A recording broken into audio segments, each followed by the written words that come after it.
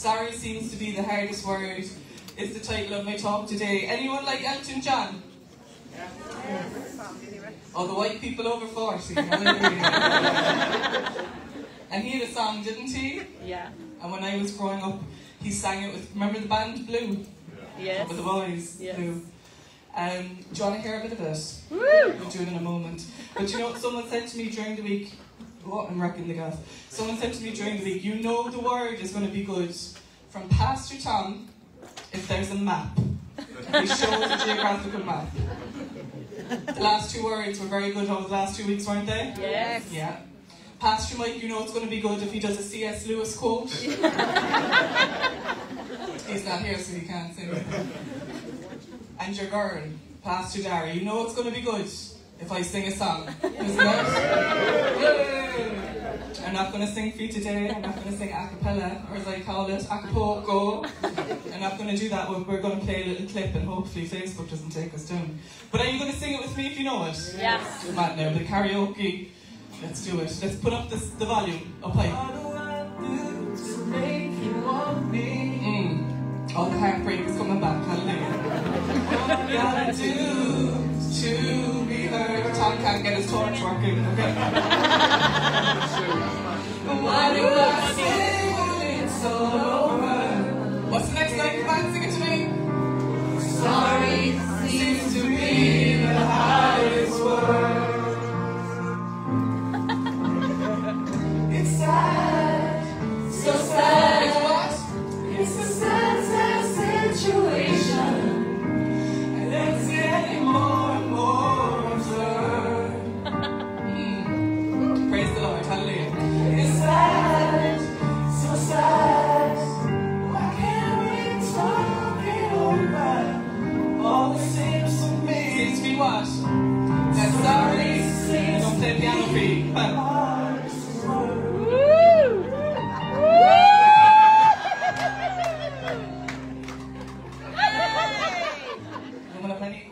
talents and work in the gaff. Okay.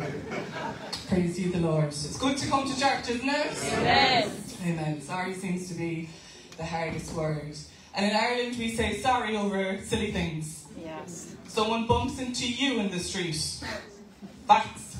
And what do we say for Irish? Sorry. Is it our fault? No. Do you know one of my pet peeves? And I'll be honest with you. When I go shopping, this is one of my pet peeves. Who shops in Lidl? Where are my little ladies at? We can own it, right? We're on a budget. Nothing wrong with that. Where are my Marks and Spencer's people at? oh, we're quiet now for that one, alright. We don't have that type of money in the church, okay? The little ladies, I shop in Lidl, right? And one of my pet peeves is you're doing your shopping and sisters, I'm just going to be honest, and I can say because I'm a woman, it's always a woman who's blocking the shelf that you're trying to get at. I'm trying to get my chicken for my dinner, and it's a woman with a big trolley, isn't it? And she's in her own world, and there's no self awareness, there's no spatial awareness. And I have to go to her, sorry, love, can I get the chicken there? And if she's a nice woman, she'll go, sorry, love, I didn't mean that. And if she's not a nice woman, what do they do? They look you up and down, jump them, and you're on the way. Yeah. Anyway, roast chicken for dinner tonight, say amen? Amen. Sunday roast, come on. But we say sorry for silly things. Do you know what's interesting? Who says sorry first in a relationship? Oh, who says the man? Usually the man, sir. Ladies, do you think that's true? No. No, thank you. No. I see the conflict rise. Can we have a fight? Let's have a fight. Who says first? Sorry, who says it? Uh, and it can be over silly things, isn't it? And I'm sorry too, I'm sorry too. But the way that we say sorry usually is the silly things we say sorry for, and then things we actually need to say sorry for we don't. And it's very Irish, isn't it? We sweep things under the rug, and we ignore things. And brothers and sisters, the way that we say sorry shows up in our relationship with God too. Sometimes we're saying sorry to God on things that we're not sinning in. It's not wrong. And then the things that we do need to say sorry for, I don't know about you, but sometimes I avoid it. I run away from it, I hide from it. And in our world today, the language we use is I'm sorry, I messed up, um, I was wrong. But the biblical language is confession. Mhm. The biblical language is repentance. And the biblical language is sin. That's what we're talking about today. And I believe that God is in this word. Do you feel it? Yes. They're going, yeah, you do. But here's the key there's forgiveness and there's freedom. Hallelujah. And it's for everyone. Anyone who calls on the name of the Lord. Amen. There's forgiveness and there's freedom. Jesus doesn't want us a slave to our sin and chained to it. No. And sometimes, as Christians, when we're walking our walk and doing years of faith, we forget the goodness and the simplicity of it. Hallelujah. I'm free from this, and I can go to God at any time, and He'll always take me. Amen. Amen. Amen. So we're going to look at that today. And here's what it says in Psalm 103 He, that is the Lord, has removed our sins Amen. as far from us as the east is from the west. Hallelujah. When you call on the name of the Lord, it's instant, and your sins are removed. Hallelujah. You're not tied to them anymore.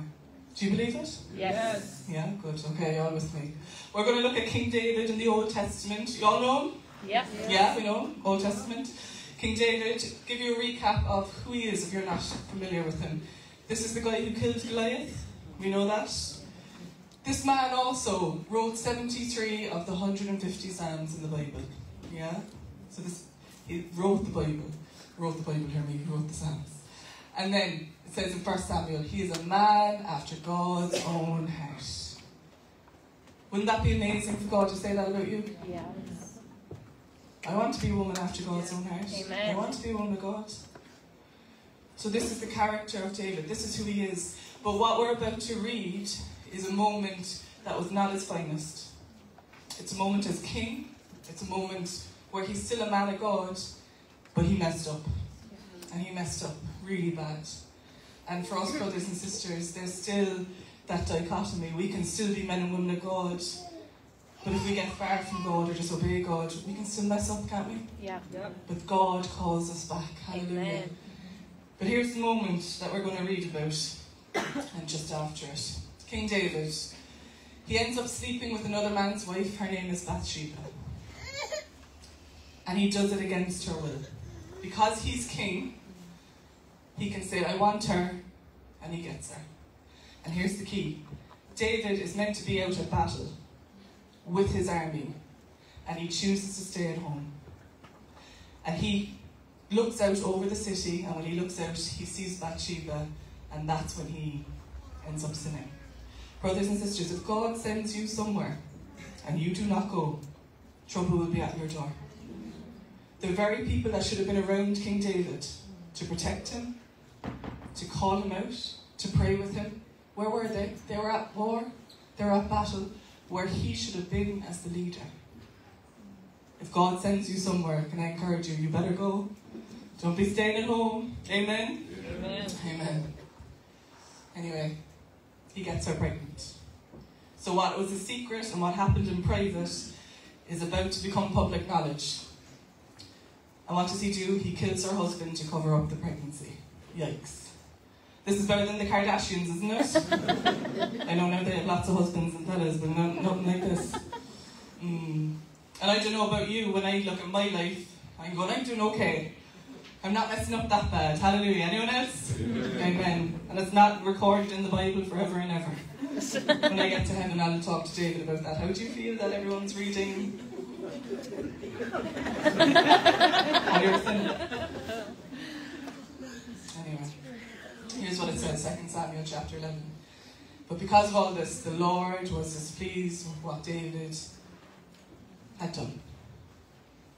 And in 1 Samuel it says that he was a man after God's heart. Do you see how you can be both? He was displeased with what he had done. So we're about to read the next verse, which is in chapter 12. And God, we just thank you for your word. Bless it in Jesus' name. Amen. Amen. So the Lord was displeased with what David had done. So the Lord sent Nathan, the prophet, to tell David this story. There were two rich men, or there were two men in a certain town. One was rich and one was poor. The rich man owned a great many sheep and cattle. The poor man owned nothing but one little lamb he had bought. Oh, that's lovely, isn't it? Mary had a little lamb, and so did this man. He raised that little lamb, and it grew up with his children. It ate from the man's own plate and drank from his cup. He cuddled it in his arms like a baby daughter. One day, a guest arrived at the home of this rich man, but instead of killing an animal from his own flock or herd, he took the poor man's lamb and killed it and prepared it for his guest. David was furious. As surely as the Lord lives, he vowed, any man who would do such a thing deserves to die. He must repay four lambs to the poor man for the one he stole and for having no pity. Watch what Nathan says. Then Nathan said to David, You are that man. The Lord, the God of Israel, says, I anointed you king of Israel and saved you from the power of Saul. I gave you your master's house and his wives and the kingdoms of Israel and Judah. And if that had not been enough, I would have given you much, much more. Why then have you despised the word of the Lord and done this horrible deed? This is what the Lord says. Because of what you have done, I will cause your own household to rebel against you. You did it secretly, but I will make this happen to you openly in sight of all Israel. And watch this. Then David confessed to Nathan, I have sinned against the Lord. And Nathan replied, Yes, but the Lord has forgiven you, and you won't die for this sin. Can I get an amen? Amen. Hallelujah. Thank you, Lord. There's three things that I just want to briefly look at from this passage of scripture, and it's a heavy scripture, right? Mm. We're reading about little lambs and then them getting killed, and then it's all about his sin, and then confession. It's, it's a lot. But here's three things I want to look at. The first is this in the end, it's who God sends. David was a man of God. He knew that he had sinned, but he wasn't going to God on it. And David still had the calling of God in his life. And God doesn't throw that away, no matter how much we mess up. So, what does God do? He sends the prophet Nathan to David. And we see the Lord was displeased with David and what he had done, but the Lord sent this prophet to him. Brothers and sisters, here's something I've learned. If someone is not going there with God, and they're not going there with themselves, they won't go there with you they'll be avoiding things. And sometimes in our relationships in life, the friction that we're feeling isn't the relationship, it's the person avoiding what they need to go to with God. Mm. And what we see is this that's the wrong slide, I'm going to go back. What we see is this is that David had an opportunity to be honest with God, and he chose not to. And what we read in the scripture, what we have read, is that it goes straight into this story, right? It doesn't tell of their dialogue beforehand. It doesn't say, Nathan greeted David, how's things, how are you going? There's none of that. And this isn't the first time that Nathan has met David. If you know your Bible, anyone know their Bible? No, some people. If you know your Bible, this is the second time that Nathan has met David. The first time, God sends Nathan to give him a great word. And that's your son is going to be king, and there's going to be a dynasty. Hallelujah, I want that word. Give that to me. So when Nathan is sent to David, I wonder how David felt. Is he thinking, I'm going to get a great word? And also, I don't know about you, but when I'm avoiding God and what I need to go and talk to Him about, if I'm around men and women of God, the conviction in my spirit mm. goes 90, it just goes woof. Because I know I'm avoiding God, and it's not the man or woman of God, it's their spirit, and it's a reflection to me of what I need to do. Yeah.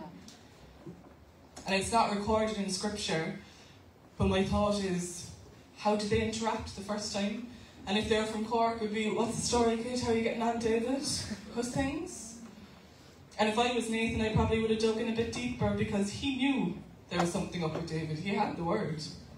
So if it was me and I wasn't holy, I'd be saying, David, tell me everything that's going on in your life since we last met. How are you feeling? What's going on? Any news? And I'd let him hang in it. Is that very bold? very bold. But how was David in it? What's he to say? I got someone pregnant, and then I went off and one and killed the husband. It's not great. I'm not going to admit that. Or was he proud? Was he full of ego? Was he shy? Was he insecure? We don't get to see that in Scripture. But here's what could have happened there could have been a moment of honesty. David could have grabbed that moment with Nathan. He knew he was a man of God, he knew he could trust him, he knew that God had sent him to. And instead, he played bluff, didn't he? Pretending. David could have confessed before he was confronted. And I know prophetically that's for someone today. There's someone here, or a few people here, and you've messed up on something. That's okay. You have the opportunity to confess to God what you've done before you get confronted on it. There's always these options. If God is sending someone to you, don't pretend like it's not going on. Don't pretend that you haven't sinned in it. Take the opportunity because here's what it says in the book of James it says, Therefore, confess your sins to each other and pray for each other so that you may be. Yes. There's healing in the confession. Now, we don't do this with everyone, yeah? These are people that we trust, who love the Lord, who love us, who are doing life with us. There's a wisdom and discernment in that. But in confession of our sins, which we all do, the Bible says if you don't think that you have sin, it says it in 1 John 9, or 1 John 1, verse 10, it says that you're saying that God is a liar.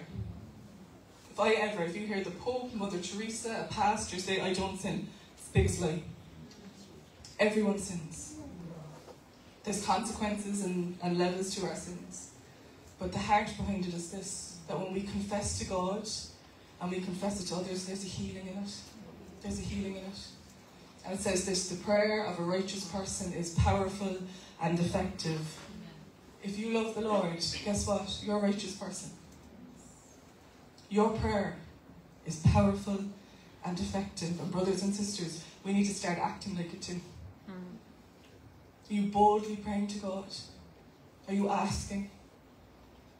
Are you interceding for people? There's power in your prayers. It's not just the pastors. The same Holy Spirit in me is the same Holy Spirit in you. Amen. Do you believe it? Yeah. Stir it up. Stir up your spirit. Here's the second point. What you hide, God can't heal. We see it with David. What's he hiding? His sin. He messed up. And because he's not going there with God, what's God to do? God has to send someone to wake him up and say, David, come on what you hide, God can't heal. And we see David's choices, that the sin that happened in private was coming out in public. But we also see it in his choice to be, um, to confess, to confess his sins with the Lord and with Nathan. That happened in private with Nathan, but his decision came out in public. So we see Nathan confess, or David confessed to Nathan, I've sinned against the Lord. And Nathan replied, immediately, but the Lord has forgiven you. And again, brothers and sisters, in forgiveness there's freedom. It's immediate. You don't have to wait. This is the day of salvation. Amen. This is the day of restoration. This is the day of healing. This is the day to leave it behind. Amen. The Lord doesn't see things the way you see them. People judge by outward appearance, but the Lord looks at the heart. And we can be very good at masking and playing games, even as we come into church. We can all look lovely, and uh, all our families are nice. And you can hide behind your eloquent words, you can hide behind a car, you can hide behind your glasses, you can hide behind what job you have, you can hide behind it all. But God sees your heart. What's your heart? And before David confessed, his heart was in the wrong place. And this is a man after God's own heart, and his heart was in the wrong place. But David chooses to do the right thing. Once he confesses, he chooses to do the right thing. He marries Bathsheba, he cares for her and their son. David could have ignored her, made her destitute, abandoned her, but he chose not to. Once he confessed, his heart was in the right place. And I believe today that there's people and you're in the sin. You're in the middle of it. You're in the relationship that you, God told you not to. You took on the debt that you know you shouldn't have. You're in the job or career that God hadn't assigned to you. You're in it and you're going, What do I do? You choose to do the right thing. You can still choose to honour God in it. It doesn't mean that there isn't consequences to what we choose, but we in it. Amen? Amen. And because of this mess that David made, talk about a shambles, talk about absolutely dropping the ball. Here's what happens their son is King Solomon.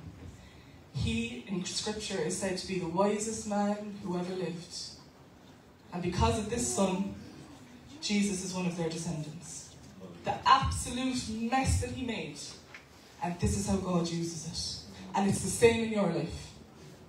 You think that what you've done is too bad, you think you've screwed up too much. Watch what God can do. Hallelujah. Do you believe it? Do you feel it? Yes. And Dad quoted it in the first service, and we hadn't spoken to each other, so I know this is from the Lord. We know that God causes everything to work together for the, Good. say it again, for the Good. Of those who love God and are called according to his purpose for them. Do you love the Lord? Yes. He's going to work it out for good.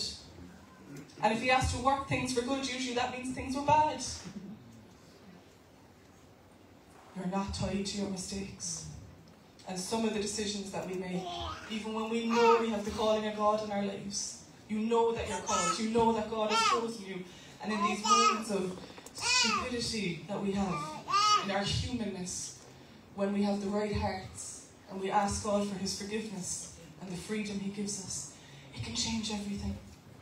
And it's bigger than us, brothers and sisters. The choices that we make for the kingdom of God are bigger than us. And sometimes we can say, I'm going to stay in this because I've messed up so much. Don't. The freedom is there. The third point is this don't get stuck in what you suffered. David messed up so bad, he could have suffered and stayed in that sinful place. But he made a call, didn't he? He repented and he moved forward and he did the best with what he had and he honoured the God in it. We have that decision today too. We can do that. But someone that doesn't get mentioned to the same degree is Bathsheba. And she suffered because of David's sin. Mm-hmm. I know, because God has spoken so clearly to me this week on it. There's people in this room, and you're the same. You are suffering the consequences of someone else's sin. You've done nothing wrong. You did nothing wrong. Whether it was 20 years ago or it was two weeks ago. And you're suffering because of the lie, you're suffering because of the guilt, you're suffering because of someone else's poor decision, you're suffering as because someone rejected or abandoned, abandoned things. You weren't looking for it, you weren't being lustful, you weren't being promiscuous, whatever it is, and you're suffering because of it. Don't get stuck in the suffering. And just as we're saying that we can confess our sins to the Lord, when it's the sins of others, we need to confess that too. And the same way that God has forgiven us, we need to forgive them. We want the freedom. We need it. And we're going to sing a song, the worship band is going to come up. Do you know the song Break Every Chain? Yes. Sometimes we put on the sins and the chains of the sins, and it's our fault. But sometimes it's not. Sometimes other people have placed it on us. And we're going to pray for that. Will you stand wherever you're at? We're going to sing that song in a moment.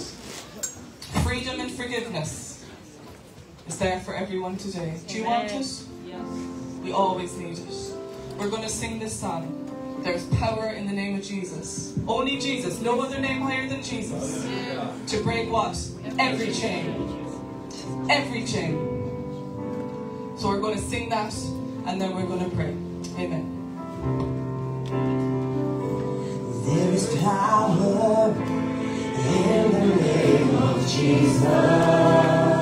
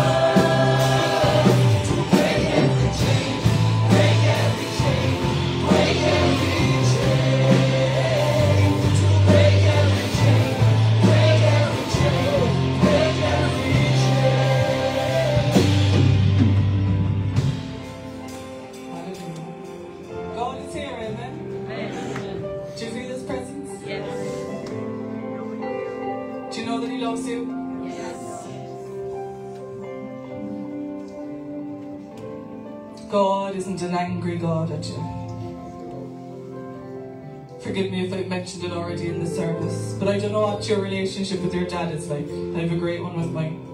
But sometimes we think when we come to God that He's going to be angry at us and He's going to dismiss us, and it's not.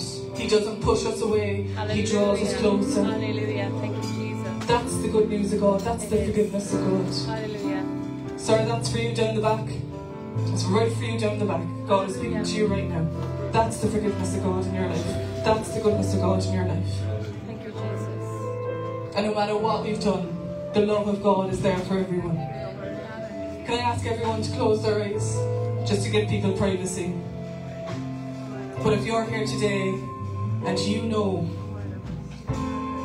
I need this Jesus, I need this God, or you need to get right with God, the ultimate confession is that that Jesus is King and He is Lord of all. If that's you here today and you want to do that, will you lift a hand wherever you're at, just as a sign, sign to the Lord? I see you. I see you. Thank you, Jesus. I see you. I see you. We got, we got five hands. Will we pray? Yes. Let's pray. Put your hand back down. We're going to pray as a congregation, as a community, a prayer of salvation. If you want to repeat after me, because the prayers of a righteous person are powerful and effective. Amen. Hallelujah. So let's pray together. Lord Jesus, Lord Jesus, thank you thank you for dying for me, for dying for me, that I have eternal life, that I have eternal life, and that I'm cleansed from my and sins. that I am cleansed from my sins. I declare, I declare, you are Lord, you are Lord, you are God, you are God, and right now and right now I give my life to you. I give my life to you. Thank you. Thank you. In Jesus' name. In Jesus' name. Can I get an amen? Amen. Give them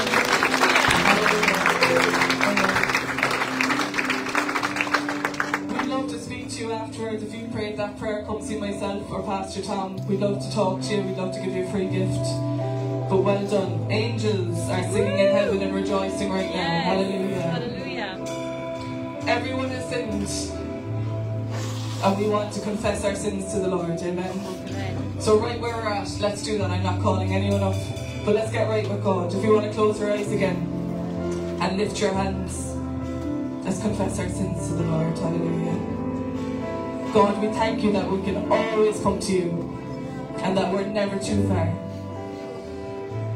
We ask you, Lord, any sin that we have committed, when we've been disobedient, when we've done things out of our own ego or greed or lust, Lord, when we've done nothing when you've asked us to do something. As we raise our hands, Lord, we're sorry. We thank you that as we hand over our sins, we get your mercy and your forgiveness and your kindness, Lord. And openly we receive it. We thank you, Lord, that every day, every moment, we can always come to you. Thank you that we get eternity with you because of your ultimate cost on the cross. We thank you for your forgiveness, God. We do not take it for granted. And the people of God said, Amen. Keep your eyes closed. The other prayer that we want to pray, and I know this is from God, is the sins that have put, been put on you that are not your own. You didn't do anything wrong, but yet you're suffering with them. And what we need to do, and I include myself, is we need to confess and forgive the person that it's happened to us, or the people that have happened to us. I'm going to ask you to do something very brave, and I'm going to join you. Will you come up the top when we pray? If that's you, it's only the Lord moving. Don't be, don't be worried. But let's pray together as the band sings. Come on. Just to add, as those who are coming up, I believe the Holy Spirit is saying something was done to you as a child. And you're carrying the blame in your own hearts for us. I don't know, was it a parent, a teacher, a family member, a neighbor, a carer? But this is what God says. You were a child. The scripture says if anyone does wrong to a child, better for him to have a millstone hung around his neck and thrown into the deepest sea. When I was a child, I was a child. I didn't know. And God wants to say to someone, who, as a child, had something wrong done to them, that you need to learn to forgive yourself. Because you're carrying a blame and you were a kid. And so God is saying that. I'm not saying whether you're coming up or not, but I just put it out there. Forgive yourself. And we'll pray for that in a moment. So just back to the main prayer. Who here wants to give that to the Lord? You want to forgive the other person, and maybe you've already forgiven them, but you want to say, God, I don't want to live under the shadow of that anymore. Would you lift your hand wherever you are? That's it. We've all been there. You're just being more honest about it because you're admitting it. I'm going to invite you. Would you come up to the top? Let us pray with you as Julie sings the song.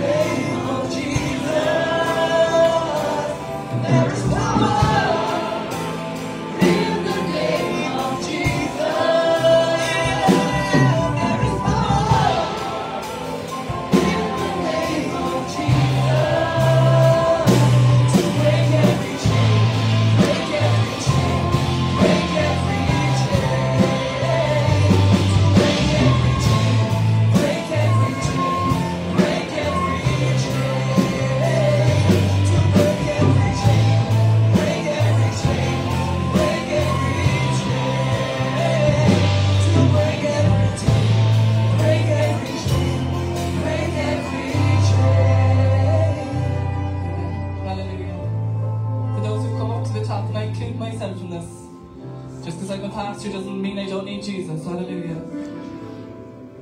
We put our hand over our hearts.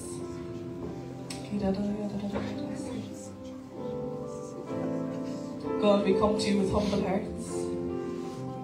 And we admit that we're hurt. And we admit that we've carried this. And we admit, Lord, that maybe we haven't forgiven where we should have. But we ask you, Lord, to lift the weight of this suffering and this sin that is not our own off of us right now in the name of Jesus. We ask you, Lord, to forgive us for not forgiving those who have hurt us. As part of the Lord's Prayer, forgive those who have sinned against us. God, we forgive them. And we ask you in these moments, Jesus, that the healing balm of the blood of Jesus would pour over our minds and hearts. We ask you, Lord, that the people that have hurt us, that you would heal them too. Draw them close to you, Lord. And in these moments, Jesus, where your presence is so tangible, where the goodness of God is so palpable. We ask you, Lord, for our wounds and our scars that you know and that you have seen, that you would heal them too. Whatever's been done, God, we hand it over. We forgive them, and we ask you, Lord, to forgive us. Let this healing continue. And God, show us moments this week where we can see the healing, where we can see the growth. Situations where we would have reacted, moments where we would have said the wrong thing. God, show us your kindness and fill us with your spirit. In Jesus' name, amen. Amen.